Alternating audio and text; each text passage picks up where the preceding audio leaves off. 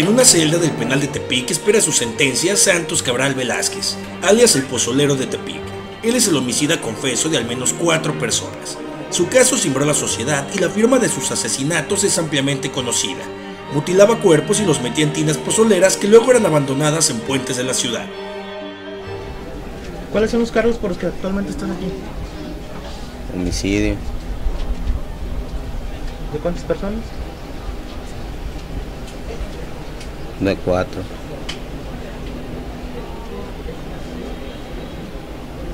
¿Me quisieras contar un poquito de esos cuatro cargos?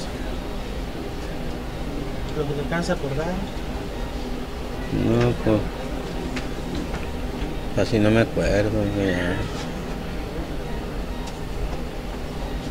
Nada, agüito. Recordar para atrás. A casi tres años de preparar los pozoles humanos, Santos Cabral no muestra gestos de arrepentimiento. No, no tengo pesadillas. Nunca.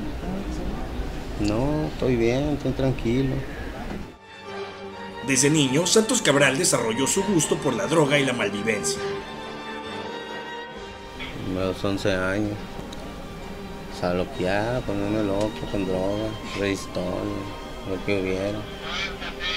Marihuana, cocaína. Todo lo probé. El pozolero consagró su historia delictiva a los 20 años. En 2003 fue procesado por delitos contra la salud y un año más tarde, en 2012, por robo. Los tatuajes delatan su identidad. Soy cholo. ¿Qué se caracterizan los cholos? Yo soy como soy, nada más. No, no, le- no invito a nadie. ¿Qué representan los tatuajes para ti? Los tatuajes. pues, tiempo aquí en el bote. ¿Cuántas veces has estado en el bote? Media vida. La historia de Santos Cabral tiene origen en una familia de cuyo padre recibió golpes, gritos y violencia. Pues él debe de saber lo que hizo, pues. Él debe de saberlo más que nada. Yo, no tengo que echarle tierra al vato, pues, pues él, él sabe solamente, pues. No, pues. Era duro, un amigo. Era duro, ¿no? Pero pues, pues mi papá, pues, como. Santos Cabral, también apodado El Cholo, creció sin el afecto, amor y comprensión de su familia, pero con una valentía que era alimentada por la droga y la violencia que aprendió de su padre. ¿En qué se convirtió tu hijo, lo sabes? Sí, ¿En qué? creo que un asesino. ¿Y qué piensas de eso? Pues es- eso es a causa de las drogas, ¿no? Pues él me lo ha de haber enseñado, yo pienso, no sé, pues, a ganarlo así, ¿no? ¿Por qué dice eso?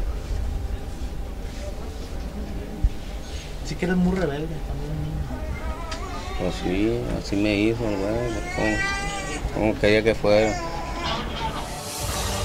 El pozolero de Tepic hoy está aislado de la sociedad tras pesadas rejas de acero, al igual que su padre, Néstor Cabral, quien fuera su maestro inicial en el mundo de la violencia. A sus 32 años, Santos Cabral espera la condena máxima. ¿Cuántos años esperas más o menos?